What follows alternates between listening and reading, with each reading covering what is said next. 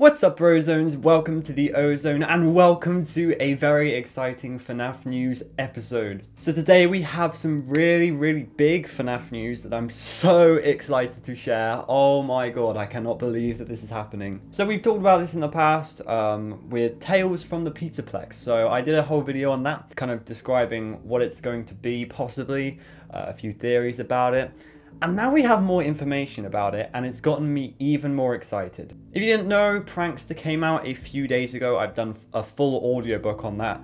Um, and the last kind of Fazbear Frights book isn't really even part of the series canon. Um, that That's kind of tricky to, to place there, but it's Felix the Shark, it's the 12th book, and the final book in the Fazbear Fright series. And it's kind of sad that it's the final book because these books have been amazing to me. They are my favorite things I have ever read. It might just be my single favorite thing in in the entirety of of life. My favorite thing is is Fazbear Frights books. And so you could tell that I was sad that it was ending. Uh, I got a little bit emotional after recording like the final audiobook for Prankster. But we do have the next book series on its way mid next year. And it's called Tales from the Pizzaplex. Uh, I assume it's going to clear up some things about Security Breach. So Fazbear Frights cleared up a lot of things about the earlier games. And this is going to clear up a lot of things about Security Breach. Possibly even VR and AR, but I'm not too sure because we got a few stories about that in Fazbear Frights. It is called Tales from the Pizzaplex, and the Pizzaplex is literally uh, where Security Breach takes place. So I'm assuming that it's going to be mostly consisting of uh, security breach stories. And I think that there's a lot that they could do with the animatronics that we've got, with the all of the mechanics that we've got, all of the different secret rooms and areas. There's so much that they could do. And of course, they can make up new animatronics, new characters, new stories. There might even be epilogues as well. But that's not what we're talking about today. We're talking about the first of these books, which now has a full description, title, and cover. So, in three, two, one, this is the cover. Um, I must say, my opinions on it, I adore it. This is the best Freddy, Freddy, uh, Five Nights at Freddy's cover that I have seen. Before this, one of the creepiest uh, of, of the um, book covers to me was uh, Face. That's so creepy. Blackbird was also very creepy. 1.35am was also kind of like that. But this one, there's something eerie about it. So we let's let's have a little dissection of it. It's called Lally's Game.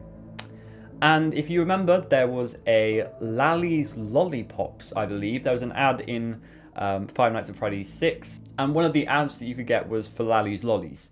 Uh, Lally, I believe, is also in sister location. I could be completely wrong about this, but I believe it's the one of the wooden puppets it, that you see in the um, circus control room or whatever it's called. I don't know. I haven't played sister location in ages. So it's kind of weird that Lally, like Lally's name pops up again.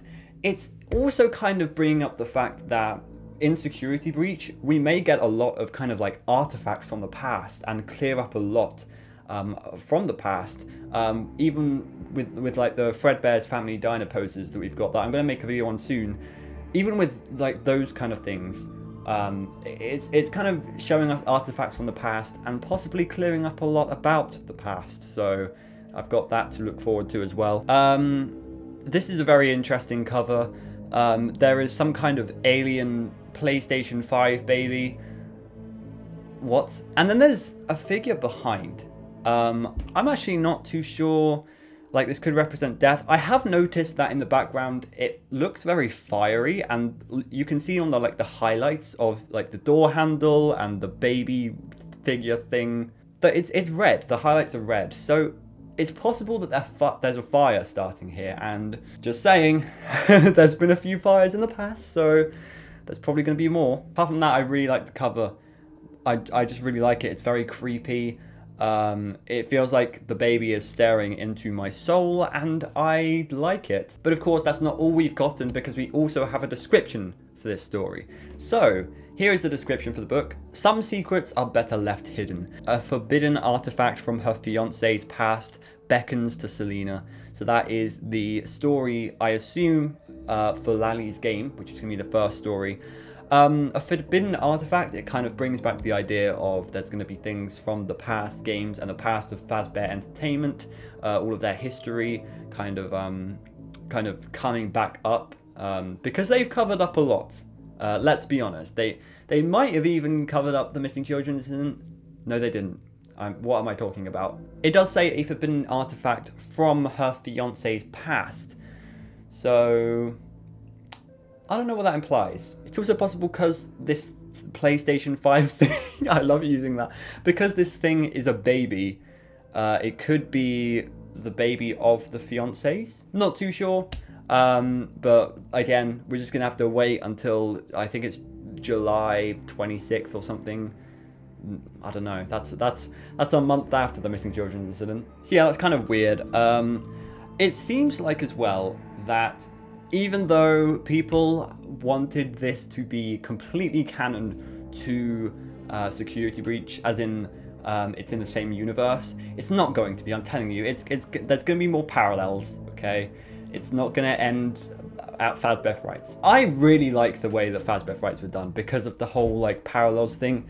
Um, I get that a lot of people fight over it and it's not worth it. Like, I, I, I, I just, I don't know. I, I really like how Fazbear Frights was done, and if it was given to us, like the, the lore of Security Breach was given to us in straight stories, then then it wouldn't be as exciting, I don't think. So the second story is Jessica leads a double life from her friends and co-workers in the children's wing of a hospital. Jessica! Where's Brittany at? um, yeah, this one. This one in particular kind of gets me.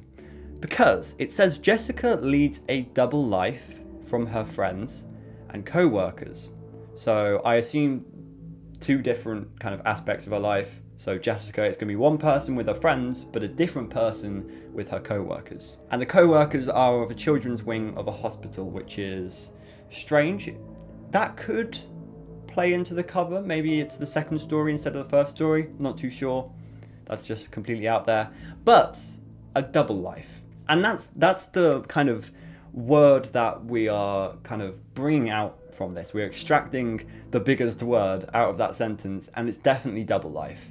Because where do we see a double life? Vanessa and Vanny, potentially at least. I do feel like this is going to be a big parallel to Vanessa and Vanny. Uh, it's going to tell us a little bit more about maybe um, her history, um, why she leads a double life, and maybe like the good side of her and the bad side of her. I'm not too sure. But I do want to point that thing out, the double life. It's it's kind of insane that we've got that in the description because I do feel like that is a massive parallel to Vanessa and Vanny. And the final story is Maya cannot resist the temptation to explore an off-limits area of Freddy Fazbear's Mega Pizzaplex. So, it does sound like this one in particular is going to take place in a Pizzaplex. We're not too sure if the other two are. That's something that we're going to need to find out, I think. But this is, a, is one of the stories that uh, I feel like it's going to be more kind of centered around security breach. I know one thing that a lot of people said in the Fazbear Frights books um, was that a lot of the stories didn't tie in to Five Nights at Freddy's at all, really. One of my personal favorite stories is The Real Jake. Has absolutely no like Fazbear Entertainment connections at all. Like in in no part of that story does it say Fazbear Entertainment or Freddy Fazbear or Pizzeria. But it's my favorite story and I think it's those that really tie together the entire series. But I do like the fact that we're going to be getting some kind of, I guess you could say, more canon stories that are that are simply direct. I like a mix. But in the world of Five Nights at Freddy's, everything comes with a price to pay. It's, it's all kind of the same format as the Fazbear Frights books. Um, doesn't mean it's Fazbear Frights 2. Okay? And there you go. That's that's kind of what we're going to be getting next year. Um, I'm so happy that we've got a new book series on its way. Uh, I'm so happy that they weren't just like fake leaks. I cannot wait to read this. I will be doing audiobooks on these. Uh, I will be doing analysis video on these. Um, I'm my channel is going to keep going because we've got another book series. So thank you, thank you. Anyway, yeah, that's that's that's pretty much it. Tell me guys what you think in the comments below. Uh, I cannot wait to read this.